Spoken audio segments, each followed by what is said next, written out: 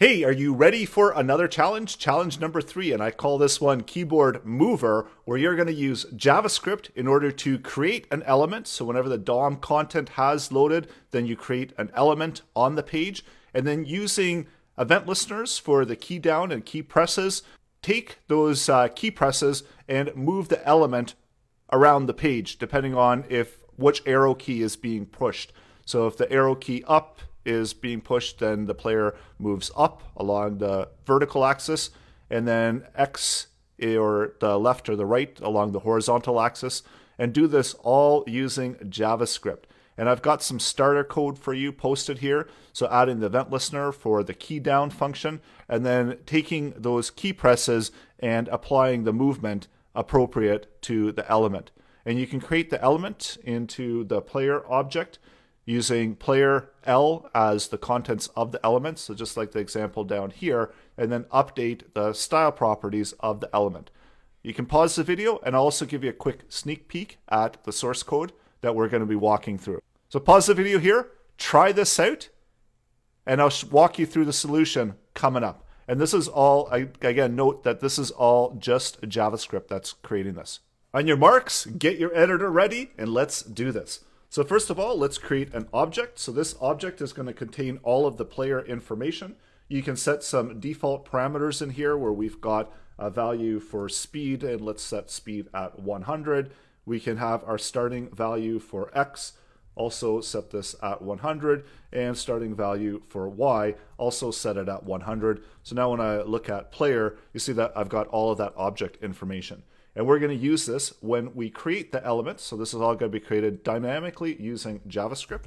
So we want to make sure that we are ready and adding an event listener to the document, or we could add it to the window object. Let's uh, go ahead and still add it to the window object.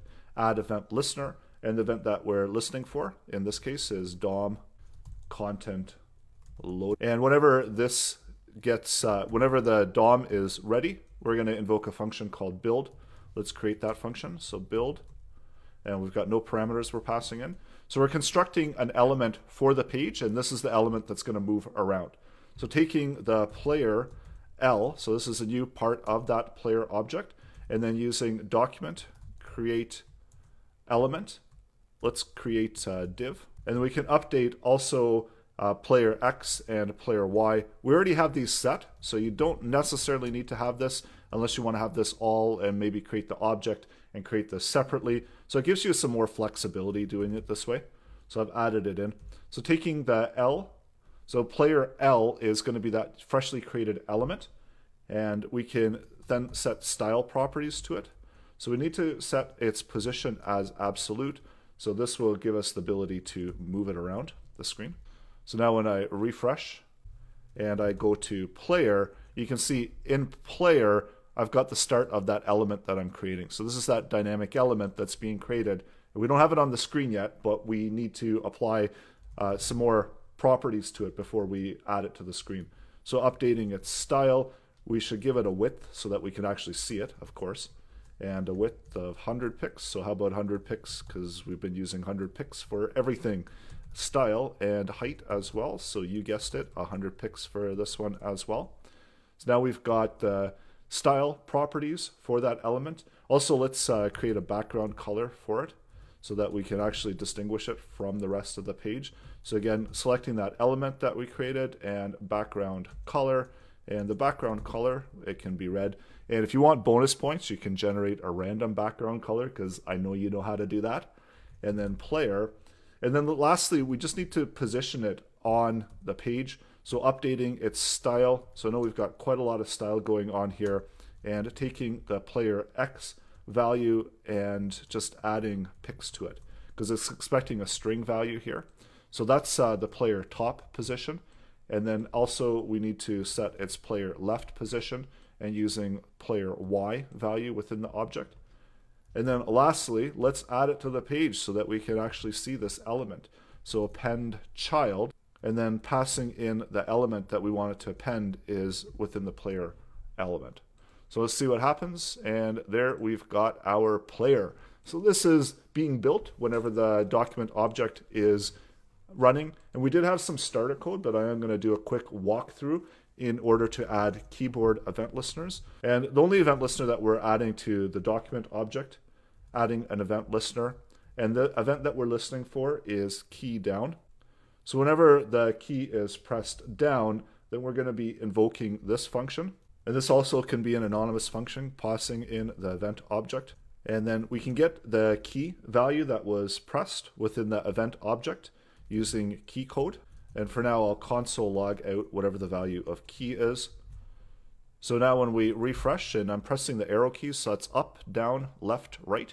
And now we just need to apply conditions so that we can move the element around accordingly. So we're check to see if key is equal to 37. And if it is, then what we want to do is take player X and subtract from it the player speed value. So it's all dynamic. So we've got the speed set there, so it's easy to adjust if the need is there. Let's account for the other keys. So we've got the four other keys. So we've got 37 and so 37, if we're clicking, that's the left key. 38 is up, 39 is right, and 40 is down. So 38 is going to be up, so we need to affect the player Y value, so that's the player Y axis, and we're subtracting on that one as well. 39 is going to be going back to the X axis. Instead of subtracting, we're adding.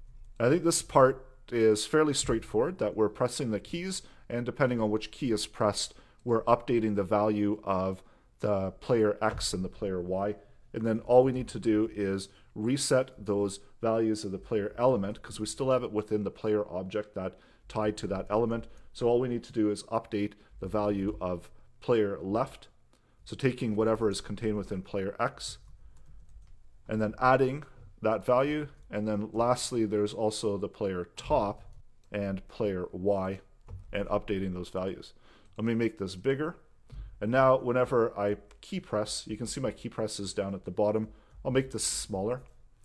So you can see the key presses in the console. So whatever key I'm pressing, you can see that it's moving the element around. So that's how you create a quick key press element mover.